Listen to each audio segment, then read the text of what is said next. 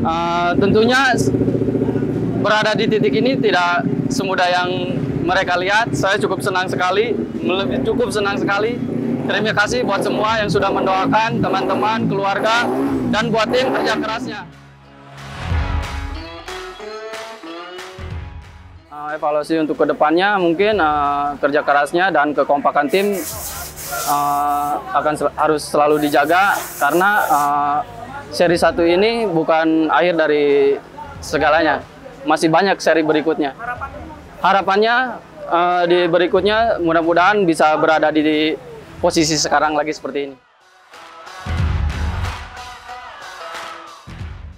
Selama ini kerja keras saya membuahkan, membuahkan hasil juara satu. Uh, untuk keluarga, terima kasih yang selalu support saya dan teman-teman dan tim yang sudah bekerja keras. Terima kasih. Tonton terus uh, One Pick di TV One tahun ini dan seterusnya.